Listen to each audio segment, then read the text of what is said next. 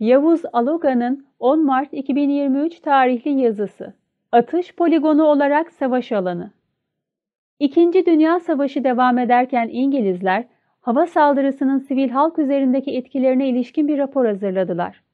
Alman uçaklarının ve V-2 füzelerinin Londra halkı üzerindeki etkilerini anlamaya çalışıyorlardı. Sonuç olumsuzdu. Havadan gelen yıkım halkın moralini bozmuyor, tam aksine direnme gücünü ve dayanışma duygusunu artırıyordu. Evleri yıkılan insanlar dayanışma ağları kuruyor, kaybedecek şeyleri kalmadığı için sivil direniş güçlerine, hizmet kuruluşlarına katılıyorlardı. O zamana kadar Avrupa'da askeri hedefleri, ulaşım sistemlerini ve kent altyapısını bombalayarak sonuç almaya çalışan Amerikalılar, İngilizlerin raporundan hareketle stratejik hava bombardımanı doktrinini geliştirdiler halkın moralini bozacak, her türlü direniş umudunu ortadan kaldıracak, dayanışma namına hiçbir şey bırakmayacak bir savaş yöntemi arıyorlardı. Stratejik hava bombardımanı başladığı sırada Almanlar savaşı kaybetmişlerdi. Arden bölgesine geçen müttefikler Reich topraklarına girmişler, Ruslar Vistül nehrini geçmişlerdi. Alman siviller iç bölgelere kaçıyor, büyük kentlerde toplanıyorlardı. O sırada askeri değer taşıyan bütün hedefler bombalanmıştı. Buna rağmen İngiliz Lancaster'ları ve Amerikan B-17'leri katliam yapmak için havalandılar. Tahrip bombalarıyla şehirleri yıktılar, ardından yangın bombaları attılar. Savaşın son 4 ayı içinde Almanya'nın üzerine 1943'te atılan bombaların iki katı kadar 471 bin ton bomba atıldı. Sonuç olumluydu. Paniğe kapılarak sürü psikolojisi içinde dağılan kitlelerin direnecek gücü kalmamıştı. Gökten ateş yağıyor, Hitler'in direniş örgütü Werwolf, hain damgası vurduğu Almanları istasyonlarda, otobüs duraklarında asıyor, Rus askerleri buldukları her kadına tecavüz ediyorlardı.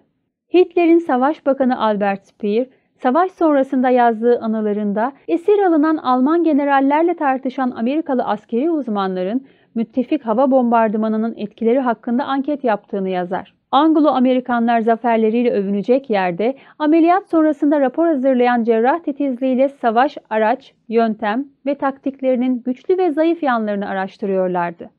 Amerikalılar stratejik hava bombardımanını Japonya'ya çok sonra da Vietnam'a uyguladılar. Japonların işgalindeki Pasifik adalarını Alman kentlerine yaptıkları gibi önce yıktılar, sonra yaktılar ve deniz piyadeleriyle çıkarma yaptılar. En stratejik iki ada Iwo Jima ve Okinawa Japonlardan temizlendi. Japon kentlerine 300 bin bomba attılar. On binlerce sivili öldürdüler. O sırada Japonya savaşı fiilen kaybetmişti. Fakat Yankee ilk denemesini 16 Temmuz 1945'te New Mexico çölünde yaptığı Trinity adlı nükleer silahın etkilerini bir kez de sahada görmek istiyordu. Manhattan projesinin askeri komutanı mühendis Kor General Leslie Gross, bombayı denemek için bakir bir yerleşim yeri, yani daha önce stratejik hava bombardımanına maruz kalmamış kalabalık bir kent arıyordu. O sırada bu koşula uyan 3 Japon kenti vardı. Niigata, Hiroşima ve Nagasaki. Birincisi hava koşulları sayesinde kurtuldu. Bütün bunlardan savaş alanının aynı zamanda yeni silahların denendiği, ölüm teknolojisini geliştirmek için verilerin toplanıp değerlendirildiği bir atış poligonu olduğunu anlıyoruz. İkinci emperyalist paylaşım savaşında uzak mesafelere tank ve zırhlı birlik harekatlarının stratejik hava bombardımanının etkisi sınandı. Afganistan ve Irak'ta muhab bombalarının çok derin sığınakları yıkabildiği ve açık alanlarda mevzilenmiş, hava savunması yetersiz zırhlı birlikleri topyekün imha edebildiği görüldü. Hava kuvvetlerinin ve muhab tarzı nükleer olmayan tahrip gücü yüksek silahların henüz etkin bir rol oynamadığı Ukrayna sahnesi, konvansiyonel savaşta tankların lazer güdümlü omuzdan atılan silahlara ya da Rus helikopterlerinden ateşlenen roketlere kolayca av olabildiğini gösterdi. Gelecek savaşlarda tankların meskun bölge çatışmaları ya da isyan bastırma harekatları gibi daha mütevazı alanlarda görev yapacağı, bombardıman uçaklarının ise insansız uçacağı anlaşıldı. Rus amiral gemisi Moskova kruvazörünün Ukrayna yapımı iki Neptün füzesiyle batırılması da savaş gemilerinin Rusya'nın 2015'te Hazar Denizi'ndeki 4 savaş gemisinden fırlatılan 26 füzeyle Suriye'deki IŞİD hedeflerini vurmasının kanıtladığı gibi bundan böyle ancak füze rampası olarak kullanılabileceği en azından düşmandan arındırılarak emniyete alınmamış kara sularında fazla kıymeti harbiye taşımayacağı düşünüldü. Ukrayna Savaşı daha şimdiden Javelin gibi lazer güdümlü silahların, HIMARS gibi çoklu roket sistemlerinin, Bayraktar TB2 gibi dronların konvansiyonel savaşta klasik savaş araçlarına karşı etkili olduğunu gösterdi. Önümüzdeki aylarda daha yıkıcı silahların nükleer savaşın eşiğine gelinceye kadar peş peşe sahaya sürüleceğini söylemek yanlış olmaz. Bu arada tarafların stratejik nükleer saldırı üzerinde çalıştıkları anlaşılıyor.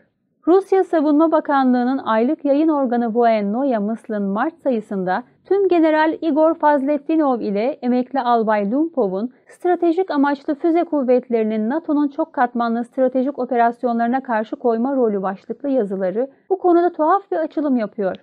Yazıyla ilgili Aydınlık Gazetesi kısa bir habere yer verdi. Yazının özeti ve çevirisi harici internet sitesinde yayımlandı. 21. yüzyılda nükleer caydırıcılığın askeri stratejik şartlarının kökten değiştiğini öne süren, alıntı yapılamayacak kadar karışık ve anlaşılmaz olan, çevirmenin ifadesiyle Rusçası da epey zor anlaşılan yazıda özetle, ABD NATO'nun dünyanın çeşitli bölgelerinde konuşlandırılmış güçleriyle Rusya'ya karşı kombine bir çok katmanlı küresel harekat başlatmak için hazırlık yaptığı, Rusya Federasyonu'nu fiziki olarak tasfiye edecek, onu başsız bırakacak ve zayıf düşürecek asgari düzeyde yeterli bir kütlesellikte nükleer saldırıda bulunmayı planladığı öne sürülüyor. Buna karşı Rusya, ABD NATO'nun ani küresel saldırısını stratejik Rus kuvvetlerinin asgari zarar göreceği şekilde püskürtecek, ABD'nin küresel füze savunma sistemini ezecek ve nihayet korunan, saldırıdan sağ çıkan nükleer potansiyel kullanılarak saldırgana tahammül edemeyeceği ölçüde zarar verecek. Müthiş bir plan. Metin bana saçma ya da malumun ilanı gibi göründü. Profesyonel asker olan arkadaşıma sordum. Ciddiye alınması gerekir dedi. Bu yazıyla düşmanın yeteneklerinin farkında izliyorlar ve kendi seçeneklerini zamanı geldiğinde sahada göstermek üzere dolaylı kararlılık mesajı veriyorlar. Yine de ben, onlar bize saldıracak, biz de onları ezeceğiz düzeyinde yazılmış böyle şeyleri ciddiye alamıyorum. Rus askeri uzman Alexey Leonkov, bir keresinde 10 adet Rus yapımı RS-28 Sarmat balistik füzesinin ABD'nin bütün nüfusunu yok edebileceğini övünerek söylemişti. Bunlar komik şeyler. Aşağı kalmamak için kendi halkının boğazından kesip füze üretmeye çalışan, bununla övünen ya da nükleer silah imal etmek için yırtınan yoksul ülkelerin durumu ise hazindir. Pentagon ve Kremlin'de yuvalanmış, askeri sanayi kompleksle iç içe geçmiş çapsızlar insanlığın geleceğini tehdit ediyorlar. Roosevelt, Churchill, Stalin gibi adamlar 2. Dünya Savaşı'nın sonunda her şeye rağmen savaşın gerçekliğini bilen, sorumluluk duygusu taşıyan sahici liderler olarak tarih sahnesinde belirmişlerdi. Onların kurduğu Birleşmiş Milletler düzeni 75 yıl dayandı. Nükleer yıkımın eşiğinde süren şimdiki konvansiyonel savaş ancak ABD, Çin ve Rusya devletlerinden en az ikisinde iktidarın değişmesiyle önlenebilir. Her üç ülkede savaşa karşı kitlesel mücadelelerin örgütlenerek yükselmesi, yıkıcı konvansiyonel savaşın nükleer savaşın eşiğinde durmasına katkı sağlayabilir. Kendi alemlerinde dünyayı yok edecek oyuncaklarıyla oynayan çapsızlar iyice havaya girmeden dünya kamuoyunun sürece müdahale etmesi gerekir. Silah endüstrilerinin gariban ülkeleri atış poligonuna çevirmesine izin verilemez.